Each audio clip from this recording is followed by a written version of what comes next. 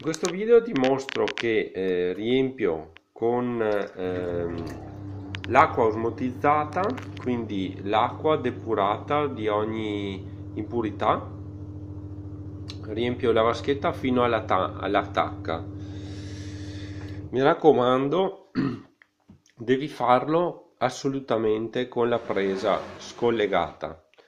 Poi vado a collegare la presa di corrente ok.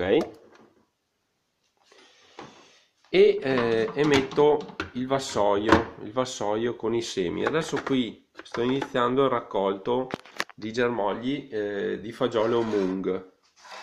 Mancano due vaschette perché eh, le ho tolte. Qui abbiamo una copiosa e abbondante crescita di germogli.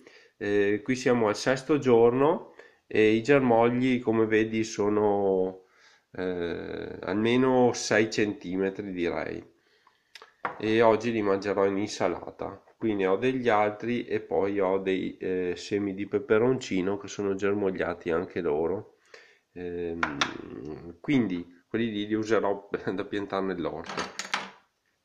Quindi ho qui la cannuccia che serve per, ehm, per l'irrigatore e ho il ventolino che serve a irrigare. Ok.